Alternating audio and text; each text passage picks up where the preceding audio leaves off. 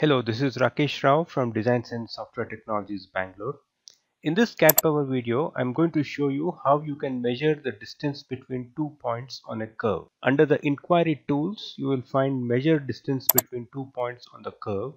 You can even start it from the command line by typing cp underscore measure two points or you can also get it from the ribbon. It's over here in more options under the inquiry panel you can find measure distance between two points on the curve. So I'm going to select this spline and I'm going to pick this as the first point and this as the second point and you can see that already there is a dimension which is created here. So between this point and this point the curved distance is 299.19 and that has been annotated here. Now you will know that using the dimension command you will always get the straight line distance between two points on the curve. So using this CADPower tool measure two points you can get the actual curved distance between the two points. So that is the advantage you have using this command. Thank you for watching this video and I hope you find this command useful.